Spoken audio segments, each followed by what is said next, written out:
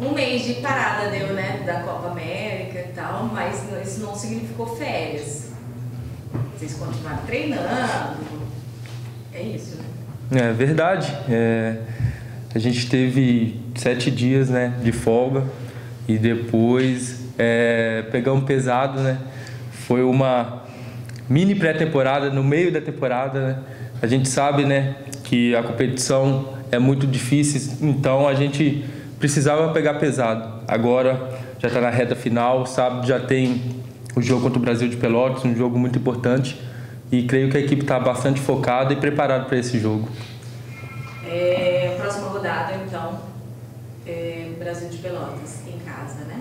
Isso. E depois Guarani. Isso. Dois, não, dois jogos em casa. Dois jogos em casa. Você acha que é uma boa chance para embalar ali? É, no meu modo de ver, sim. É, a gente tem que fazer o dever de casa, né? É, como eu falei, fizemos uma boa preparação. Esperamos né, colocar em prática nessas duas partidas, é, principalmente nessa primeira, já começar focado, né? Essa volta vai ser muito importante para a gente. O grupo está forte, o grupo está tá com foco total nessa partida e a gente vai em busca dos três pontos. O Darley, o Brasil venceu é, ontem, o técnico lá se desligou né, da equipe. Isso pode ser um fator a mais para vocês? É, fica mais fácil ou, ou não? Isso não, não, entra em campo, vocês têm que entrar concentrados, mesmo que do outro lado esteja um pouco mais de crise, é, conturbado o ambiente, isso não entra dentro de campo. É, eu acho que a gente tem que pensar no nosso lado aqui, né? É, ver o que o cavalo está passando para a gente, é, sobre a equipe deles. A gente sabe né, do que está acontecendo lá também, essa troca de treinador, é, mas a gente deixa isso para eles resolverem lá. Né? É, nosso foco total está no nosso grupo, é, nos nossos treinamentos, né? E é isso, é, é focar mesmo para conseguir fazer uma grande partida e conseguir os três pontos. É, hoje o, o Nader foi no nosso programa, ele disse que tem bola que ele nem preocupa, eles deixam passar que ele sabe que que, que quem está lá atrás vai pegar. É, essa sua boa fase. É, isso contribui, você acha? A confiança do time, confiança que o time tem em você, confiança que você sente isso, que o time é, ele confia que lá atrás é, vão resolver. Você acha que isso contribui na boa fase que a equipe está? A gente trabalha bastante, né? É, com os treinadores de goleiro, o Kiko, o Danilo, e a gente tenta, né? Minimizar ao máximo os erros né, e poder contribuir o máximo possível. Como eu venho falando sempre, né, goleiro eu acho que ajuda a ganhar ponto. Então, o Nailo falou isso, né, fico feliz né, dele ter falado, mas a gente sabe que não é assim. A gente sabe que futebol é complicado, a gente pega várias situações difíceis, né? Deus tem nos abençoado de estar tá fazendo boas partidas. Espero, né, continuar é, podendo contribuir, né, é, com a equipe e nesse jogo de sábado, né, que a gente possa sair com os três pontos e que a gente possa fazer mais uma vez uma grande, uma grande exibição, né? que, é, que é muito importante também para a gente. E como que é, você vê essa, essa disputa? Né? O Botafogo tem quatro bons goleiros, né? O Rodrigo começou é, o Paulistão e você depois que entrou agarrou com toda a força vaga e, e não, não dá espaço para ninguém. Mas como que você vê nos dias a dia trabalho, é, ele, os goleiros, os outros, o Rodrigo, o Thiago, o João, eles te passam força? Como que é essa, essa, essa amizade entre vocês? É, com certeza, né? Um ajudando o outro. A gente sabe que é uma posição diferente, né? Goleiro. É... Tem gente que brinca que goleiro não é jogador. então, é uma posição diferente. É, eu acho que tendo quatro bons goleiros, um vai ajudando o outro a melhorar sempre. É, como eu falei antes, com a ajuda dos treinadores de goleiro, o que é muito importante para a gente.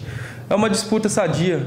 É, cada um ali sabe respeitar o espaço do outro, é, sabe respeitar né, a decisão do treinador. E é isso, cara, um vai ajudando o outro ali. E fico feliz de estar representando todos, é, jogando, né? E podendo fazer algumas defesas e contribuindo para alguns resultados.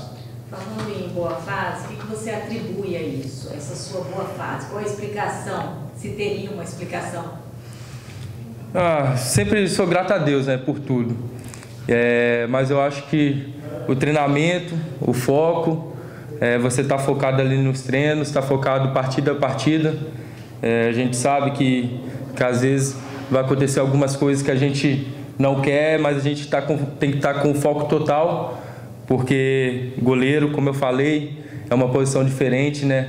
Um erro é, não tem como é, corrigir, então é, eu acho que a gente tem que estar tá focado. Então, acho que a principal, é, acho que a palavra mesmo é foco e dedicação, né?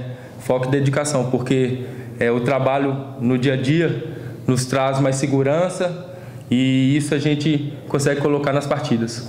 Quando você fala foco, dedicação, envolve disciplina também. Como é o Darley disciplinado? É, eu procuro, né? Tá trabalhando bastante. É, quanto mais a gente trabalha, mais diminui os erros, né? Então eu acho que eu sou um, um cara bastante disciplinado, um cara que é, procura estar tá melhorando sempre. É, me cobro muito, me cobro muito e espero, né, estar tá aí ajudando a equipe a conseguir os resultados que a gente tanto precisa. É o primeiro a chegar e o último a sair? Sempre? Tento, né? É claro que tem o pessoal aí trabalha bastante também, os outros goleiros, não só eu.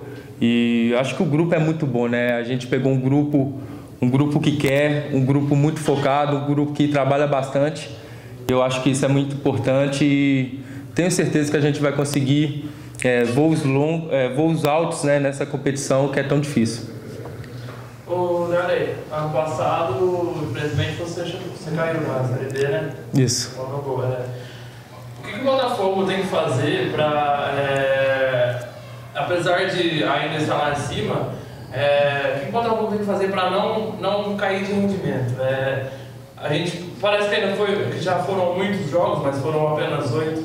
Ano passado, é, o Goiás, por exemplo, terminou o primeiro turno na zona de rebaixamento e subiu. É, o, qual é a receita para o Botafogo manter esse nível, é, não deixar cair é, o rendimento e, e, seguir forte, talvez na disputa pelo acesso ou então não, não, não pelo descenso? É, no passado eu cheguei no final da competição, já estava praticamente decretado, então vi pouco, pouco isso, né? Eu acho que eu, é aquilo que eu venho falando, acho que é mais o foco, cara. É estar tá preparado para cada partida, é, esquecer né, é, as outras, é trabalhar para cada jogo, né, encarar cada, cada jogo como se fosse uma final, porque a gente sabe, é uma competição muito difícil. Às vezes pode ter algumas oscilações, mas tem que estar tá com foco, cara. Tem que estar tá com foco, porque o grupo é bom. É, como eu falei, a gente tem um plantel muito forte e eu tenho certeza que com esse plantel a gente pode conseguir coisas grandes dentro da competição. Então é manter o foco mesmo, partida a partida, semana a semana, jogo a jogo, que eu tenho certeza que as coisas vão acontecer.